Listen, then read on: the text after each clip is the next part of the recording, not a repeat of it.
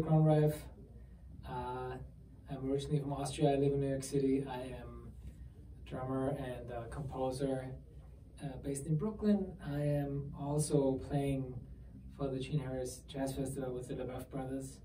And now I am doing a, a little masterclass or workshop uh, about jazz drumming and what in my mind is the most important things for you guys to keep in mind when you play, but also mostly when you practice to get the most out of the time that you sit behind the drum kit and try to get better and improve improve your uh, musicianship as a, as a drummer.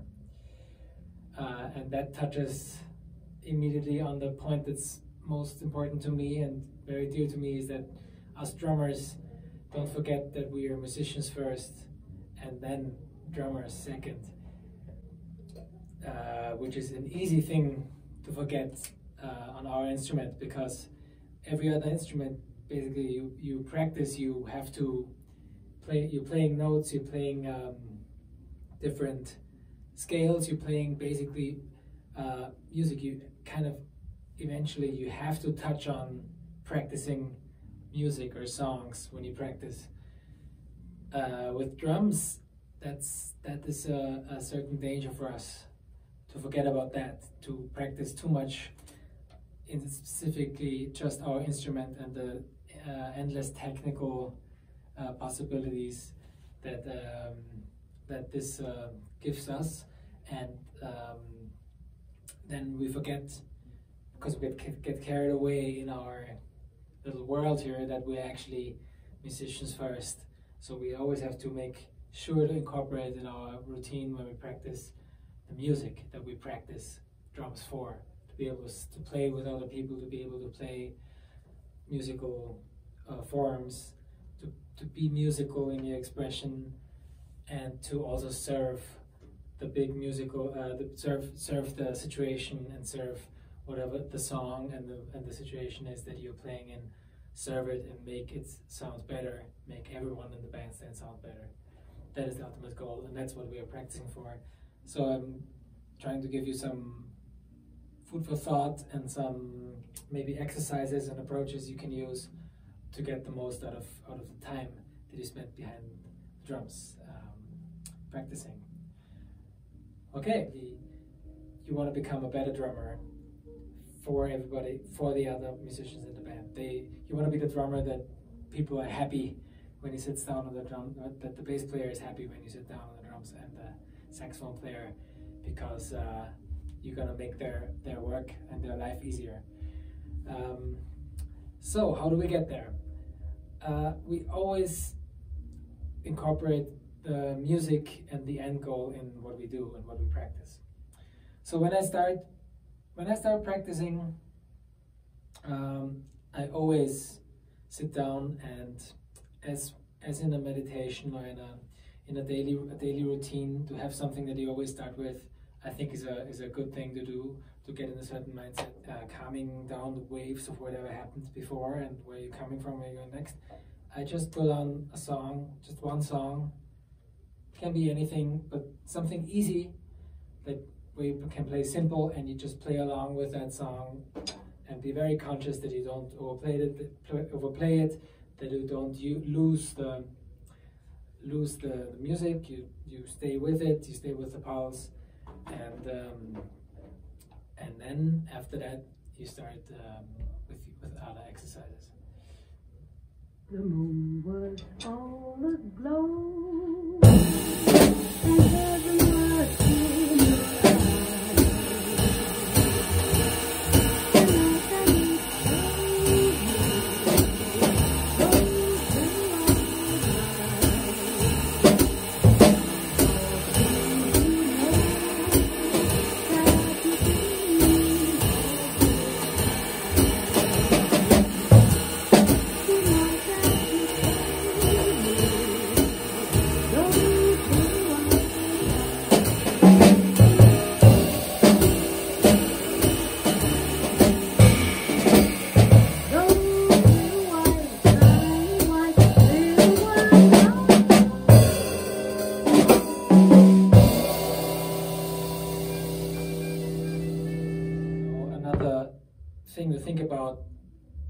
You practice, be conscious about how, how to spend the time before you start practicing.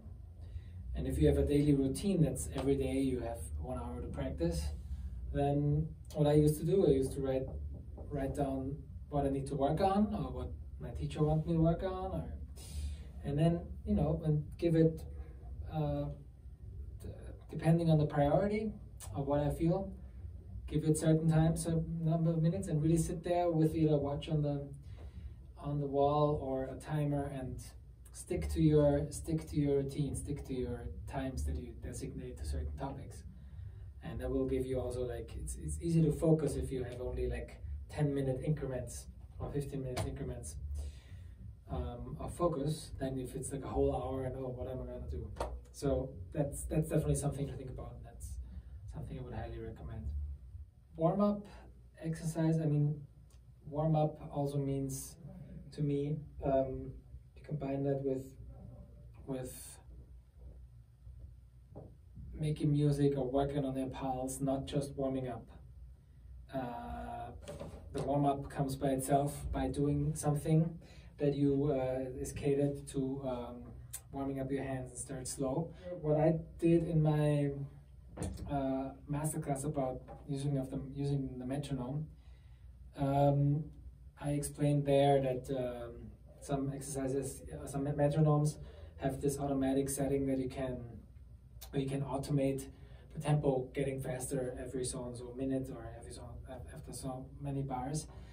Uh, that's what I use a lot for my warm-up routine. Um, I basically, I can show you one, one thing that I do basically every day.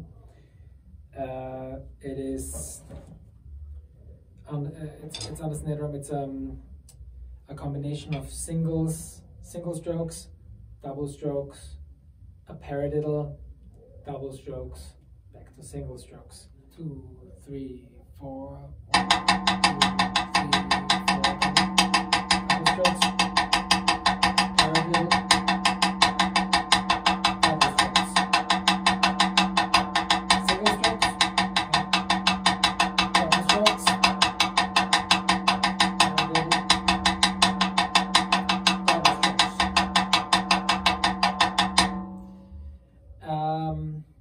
cycle. And where the paradiddle is, you can, I switch it out every time I get there. I switch out from the paradiddle to all of its inversions. So first is the paradiddle. When I get there next time, it's this. Then it's. And the fourth one uh, where the double stroke is at the end of the of the four strokes. It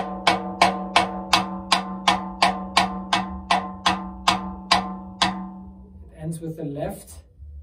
I just stay on the left, and so I switch, getting the left hand first. So when I get back to the double strokes, it's it's left hand double strokes, left hand first. And then the single strokes start with left hand. And then I have the same circle of four inversions of the paradiddle, but starting everything with the left. So that's eight. Eight cycles, and you're back to having the right hand on the one. What I'll do, I'll start very slow and uh, use as much wrist as I can. Get the sticks back up high to warm up the wrists. All right, I'll start now at tempo 50.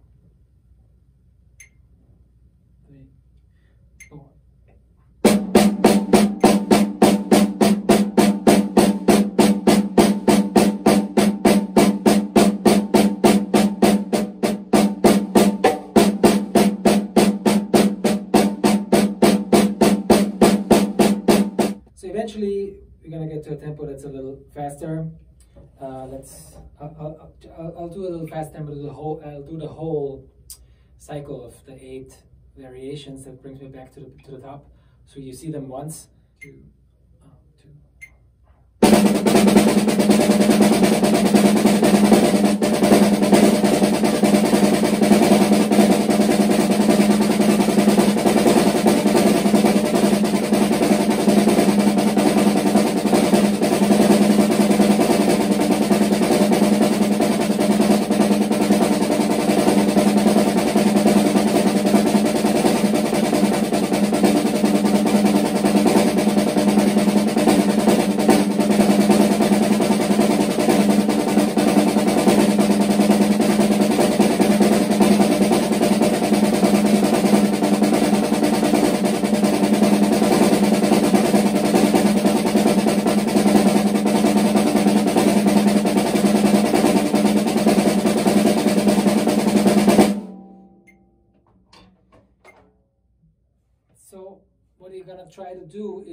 smooth it out as much as you can. So so you can't so they can't tell when the switch happens between single strokes and double strokes and um, and the paradiddles should be the most even evenly possible 16th notes. What I also do for the warm-ups, I usually set it to more than two minutes and I I play a groove or I improvise to the tempo and then I go to that warm-up exercise or I do the warm-up first and then after two minutes or something I go and play play open or play time. But keep the metronome on and uh, keep in the same pulse and not and not rush although I'm not like focused on the technical issue but I'm, I'm playing other things. I'll demonstrate real quick what that looks like going from the from that uh, rhythmic uh, from the technical exercise to groove and back. With tempo tempo 80 now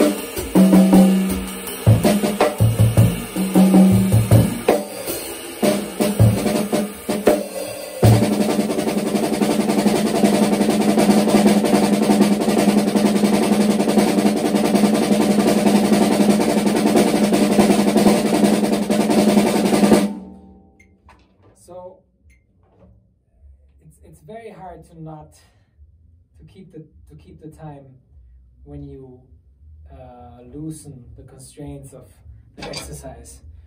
Uh, that's very clear what you have to play to something where it's not clear what you have to play, where you improvise, where you just play time, and then you stop. Te- metronome gets faster.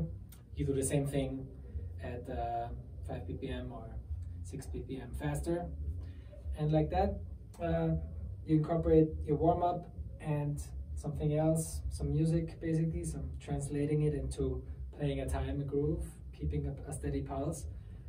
Uh, and you have it very it's very organized so it's kind of easy not to get distracted or like get carried away. You every every two three minutes you get back on on track. Okay next we're to talk about uh, the most important thing for me to having a daily practice, and that is uh, playing actual music with a record, um, but not doing it just uh, without any clear focus, but being being aware and being conscious about uh, doing it in a way so you get the most benefits out of it. Like uh, you have to have it at a certain volume that you're as loud as the record or even the record is even so that you can basically just hear it. Um, so it's a little uncomfortable, and you have to uh, you have more responsibility to stay in the time, in, in the pulse of the song, stay with the record, um, and not overpower and not be overpowered by it and get get dragged along with it. So that's something to keep in mind. I think the benefits of, of playing along with recordings are, uh, are many. First of all, um, you learn a lot of the language of the music. You learn, you listen to a lot, like how how so how uh, saxophonists and piano players and how they how they solo. You learn a lot how that feels, how that's supposed to feel, where it sits on the time. You kind of you you learn you learn what a good bass player uh, what that feels like if, if the, the pulse of a walking bass is really good to like lock in with that to make that feel good if you can recreate that playing with people and you you know what where it has to go then you will be able to get there you have to know where you want to get to and what feeling and what uh, um, what what good music feels like when you play it that's where you want to get so you have to have the goal in sight um, to be able to know to know how to get there. The rest will come by itself. Find music that to play along with consciously. Um, whatever it is you're working on, if you're working on um, a jazz band project or like something and you're learning a standard, you go uh, on the internet and on the streaming services and look up a few versions of that song. Um, if you say, let's let's take an example. Let's take um, uh, "Now Is the Time" by Charlie Parker, and then you just Google, uh, you search for "Now Is Time," and you get a few versions, and you pick uh, a version that's not that's um, maybe by the composer, and then you put that on and you learn the song by playing with it on the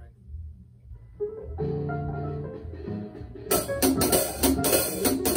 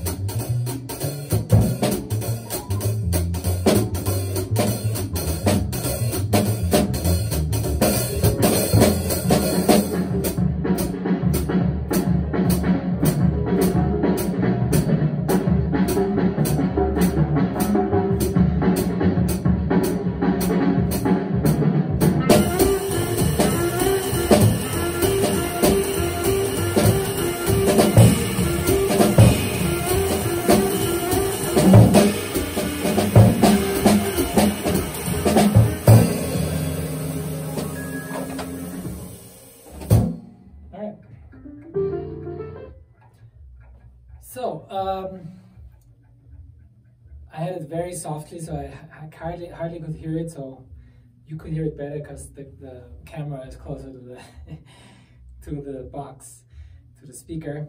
So maybe I don't know if it was always on it, but you'll be able to tell later. Um, so, but yeah, that's the point of it. So you always have to go back to listen, not play too loud. Because um, everything you can play soft, you can play loud too. So practicing playing soft while practicing with the records it forces you to stay soft. You do not always go turn it up louder, but if it was fine for the first chorus, it should be fine on the last chorus, even though you played for five minutes and played a lot of stuff, which usually makes your dynamic come up. But it shouldn't. It shouldn't. Uh, necess- it shouldn't happen by accident. It shouldn't happen just because. So, so that's a good uh, kind of a referee on your on your dynamics in that way. Um, so what happens if you lose the time, if you uh, lose the, the, the tempo?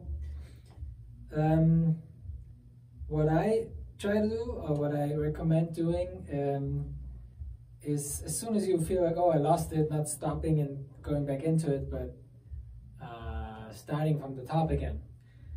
And playing responsibly in a way that you don't lose it, that you don't lose the time, that you don't lose, that you don't drift away from from the record and from the pulse. And as soon as you lose it, you have to start uh, start the song again from the top. And you can only basically finish if you finish the whole song without losing the beat. That's something I I borrowed when I, that's a story I heard the famous basketball player from uh, the 90s, Larry Bird. Some of you might have heard of him. He was a big star, but he used to practice free throws that way he would go uh, at the end of his practice a, have to do a hundred free throws consecutively, and if he would fail, if he would like miss one after after 50 or something, he would start from one again. So uh, to challenge himself, and um, that's what I translate to basically. If you lose the time, you don't get to play the rest of the song. You start from the top again until you play the whole way through the song without losing the time. And if that means, basically most of the time, it will mean not play things that are too complicated or too risky. Uh, keep it, play it safe. Um, even though the music and the soloists might always try to, on the record, the soloists and the musicians on the on the record that you're playing to, they might, um, you know, um, tease you and trigger you to play with them, which they should, and which which the music and jazz is the interaction of of these of instruments. Somebody throws an idea and you comment on it, and you play you play with it, and you play with the bass player. Doing all of that though should never make you lose the pulse and um, forget what your what the primary uh, um, objective is that that you make it groove with everyone. Doing that, uh, you'll learn to only play as much as you as you are, are able to pull off, but also uh, you learn the interaction, the interaction in the actual situation by playing with the masters and playing with uh, the rec recordings of, of professional musicians. Oh, and one more thing about the playing with uh, with along the recording, you probably um, um, saw that when there was a drum solo, I stopped playing and just played the hi-hat on two and four. Uh, yeah, that's a, that's a good way to uh, listen and learn to understand drum solos and the vocabulary of of the masters that play on these recordings. And um, if you play to the same recording uh, often or every day, play to the same song a few times and you listen to the drum solo and keep the two and four, you can uh, you can learn it. You can learn what he's play what the drummer is playing, and you can every time either you can either just listen to the solo over and over again, but also as soon as you start to to learn what he's what he's playing, you can try to catch certain things, even if it's just certain accents or like you don't know you don't know exactly how he plays stuff, but it doesn't matter. But you can like uh, more and more try to catch uh, things that you know he's gonna play, and, and because you keep the hi hat, you know you know where it is in the in the when the on the beat, and you can by that uh, learn learn vocabulary and learn uh, the phrasing and timing of the drummer and and learn how it feels because you are also in the same you, you're also you're not just there listening like this but you're you're part of it. You're playing with it. You're still moving your your uh, parts of your body and you can either play time very softly and listen to it or just listen to it or try to catch certain things uh, that he's playing. I i learned a lot of drum solos. Uh, I mean, I did a lot of transcriptions which means the transcription is like you sit down at your desk at home and you listen to a drum solo and you and you transcribe it, you write it down, and and uh, then later on you bring that and what you what you written down and you put it put it on your note on your music stand and you learn it from from the writing. What I did a lot, though, uh, what I would recommend for those of you who like who are, really want to get deeper into into playing jazz is to only learn it um, by by um, immediate imitation, so to speak. So you you listen to a recording and you listen to certain things the drummer does. It might be while he's comping, while he's playing behind the other musicians, and you play and you hear something and you're like, oh, what was that? What did he do? What is? It's cool. And go back and then listen to it again. Oh, and listen to it again. Um, oh, uh, -huh. it sounds like this. Sound okay? Listen to it again. And then you, when you play the recording again, you know, oh, he's gonna do the transition from from the head to the to the solo. I know what he's playing because I listened to it uh, 15 times, so I can play it with him and and come out at the same time and and it, it's gonna it's gonna feel good. It's gonna teach you new vocabulary. It's going to teach you where that vocabulary can fit Um, it's going to teach you the sound because you immediately try to, if you uh, imitate or like uh, uh, transcribe it without having the paper in between, meaning you put it down on paper first, then learn it from paper again. You only learn the the audio. Means that that's what you're also gonna try to to uh, um, to uh, uh, translate right away onto your onto your drumming. So you're gonna also learn the sound because it's right there, and, and your brain tries to recreate that's those sounds. And yeah, so yeah, that's what something I wanted to add to playing along uh, with records. Another great way to learn a song and to learn uh, how to keep a form. Let's stay with let's stay with now is the time since we did it before already. Um, it is a blues form, which is 12 bars. Um, and we will do uh, you can do this with any song, but now we'll do it with this uh, blues. You you play the the head in, the head in. So you sing the melody. Then you play for one chorus. Then you play time, just accompaniment for one chorus. You solo for one chorus, and you sing the head out at the end of the song for one chorus while playing time. Um, and I'll demonstrate that real quick. One, two, one, two, two.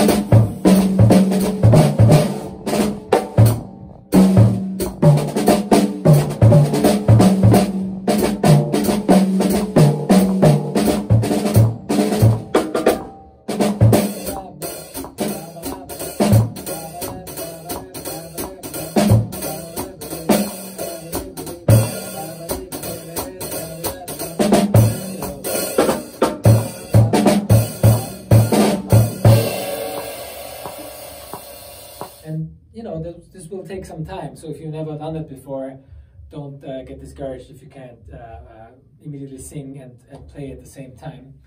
But you know, you can if you do it very simply and slowly and and let your you know uh, let your brain slowly catch up with where things land and how everything works. Uh, really, like just like so, like.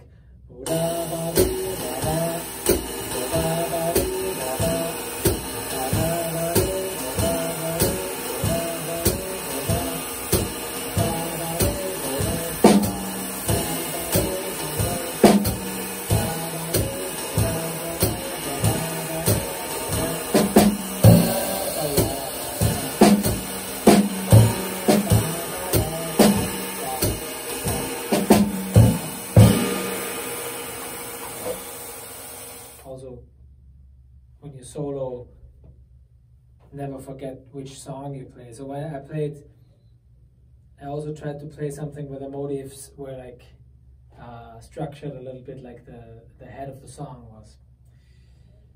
Um, yeah, so uh, that's something uh, to learn a song and to learn to play uh, over the form and keep the form while you play time and while you play solo. Okay, the last thing um, I want to touch on uh, is basically just a little introduction to a very big cha chapter of uh, of uh, practicing. It's basically an endless treasure trove for creativity in your practice, and uh, this is the, the it's, it's a book by Ted Reed called Syncopation. Maybe you have already heard of it or worked with it.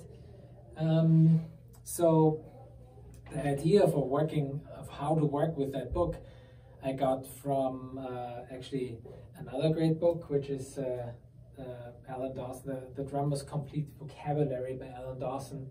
There's a whole chapter in it where he explains his approach of uh, orchestrating orchestrating the rhythms that are in that in that book, Syncopation. Uh, I'm going to give you a little introduction into that, and uh, so the book basically is only it's very simple rhythmic melodies. Um, I call them rhythmic melodies because they have, they all of them they have a certain musicality to them. Uh, so they're coherent rhythmic uh, um, patterns that kind of land and have like a have have a musical feel to them. Um, and basically, what we what we're gonna do is orchestrate them on the drum set. Um, you only have eighth notes and quarter notes and some rests. Um, I'm gonna work with with uh, for an example just the four, first four lines of uh, page 38. Um, of that book. So you can, of course, practice them by playing them on a snare drum, keeping the hi-hat on two and four uh, as a reading exercise mainly. So let's do the first four lines. One, two, one, two, three, four.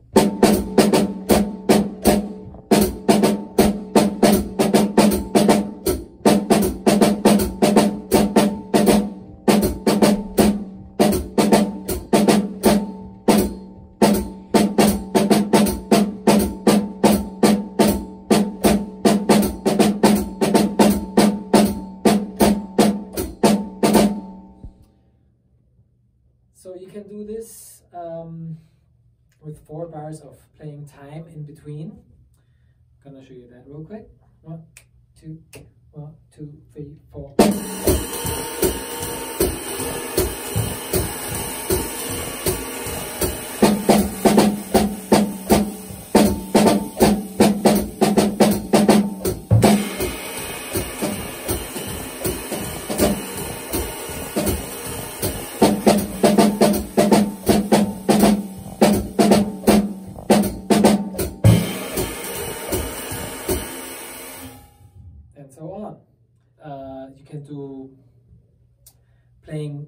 Playing the melody in different parts with different uh, hands while keeping time.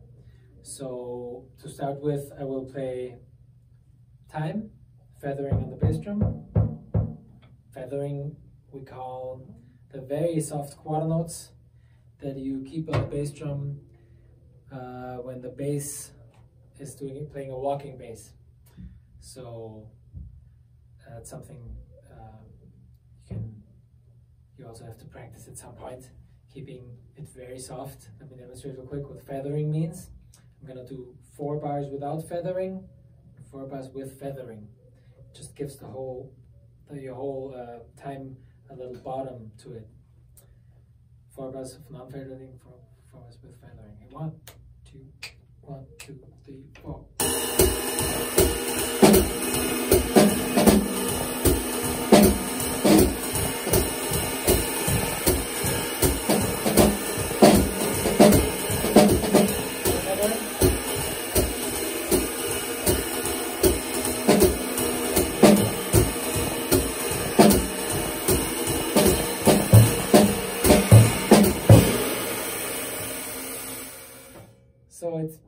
Basically not loud enough to hear it, but loud enough to feel it.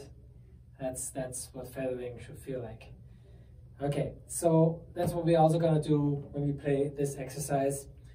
In the left hand, where we keep the right hi-hat, the right uh, right cymbal hi-hat and the feathering going, okay?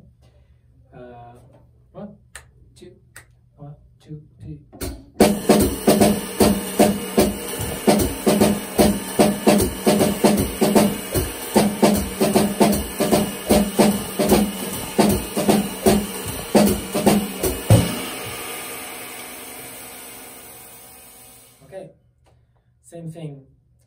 play time, play the melody with the bass drum. Um, that sounds like this. One, two, one, two, three, four.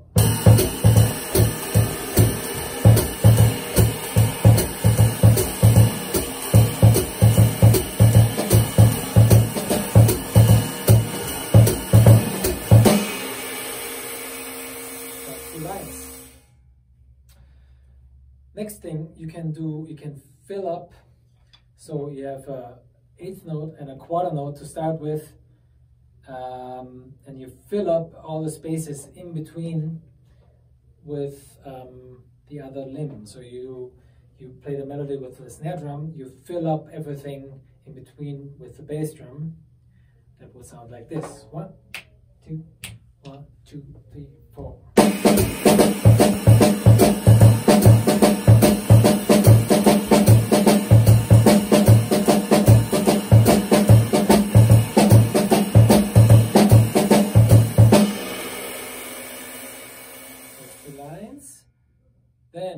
The same thing, turn it around, play the melody with the bass drum, fill it up with the left hand. One, two, one, two, three, four.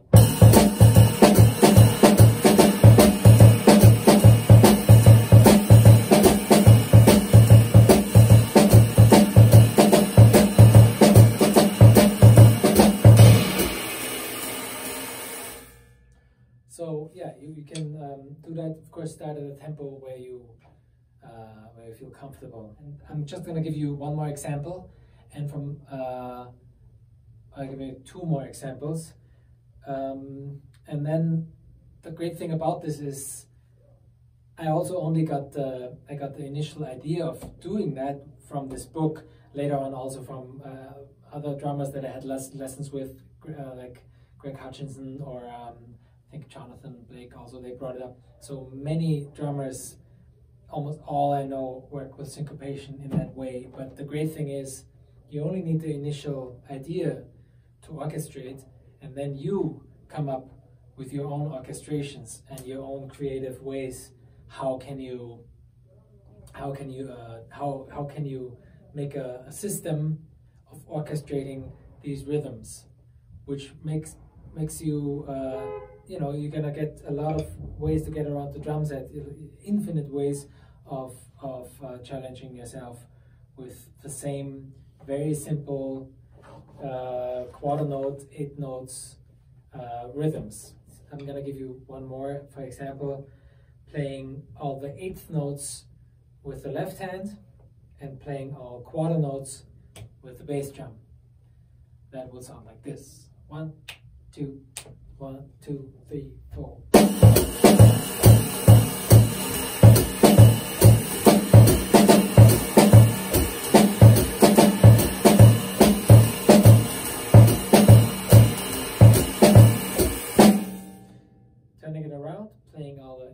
Notes with the bass drum, playing all the quarter notes with the left hand.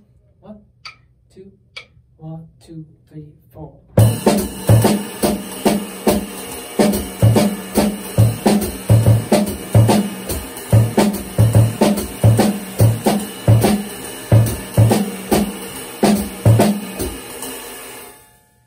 One that got away.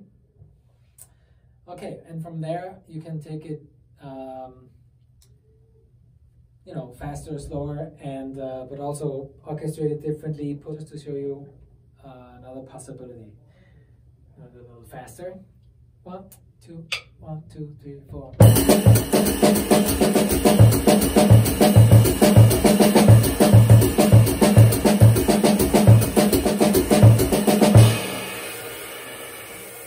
Still the first two lines, but uh, totally different practice and a different focus. Um, this one was playing the eighth notes on the bass drum, playing the quarter notes on the hi hats, and filling it up with my left hand while I play uh, while I play this pattern on the right hand. That was the only thing that was a pattern. The other things were basically just the syncopation orchest- orchestrated differently. So um, with that, that uh, hopefully sets you on a path of like uh, exploring this book and exploring all these possibilities, which are endless. I still come up with new ones, and I've been working with this book for probably 15 years, uh, and it's a lot of fun, and it's great. It's a great way to explore the drum set. Okay, this concludes our workshop on jazz drumming. Um, I hope I give you some good ideas about what to practice, how to practice, what to focus on. Mainly, I just want to say be be conscious when you practice. Make the most. Be, be really present when you practice, and uh, be aware of what it is you want to improve. And always remember you're a musician first, and then a, a drummer second, and always think about you're practicing music and for the music and uh, that always should be a part of every exercise you do and every um, every aspect that you you're trying to improve. Okay guys that's it from me. Uh, take care and I hope I see you around. Cheers